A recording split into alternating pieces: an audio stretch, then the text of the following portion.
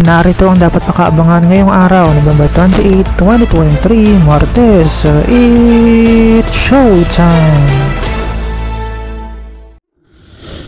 Welcome sa It's Showtime Today!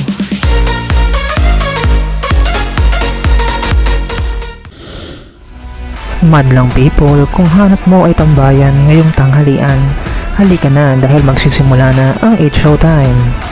Yayain na ang buong pamilya at tumutok na sa nag-iisang number one noontime show ng bansa na kung saan solid na solid ang samahan. Kaya saan ka pa, tara na't makipagkulitan kasama ang buong pamilya ng It's Showtime. For more videos, just don't forget to like, share, and comment, and don't forget to subscribe!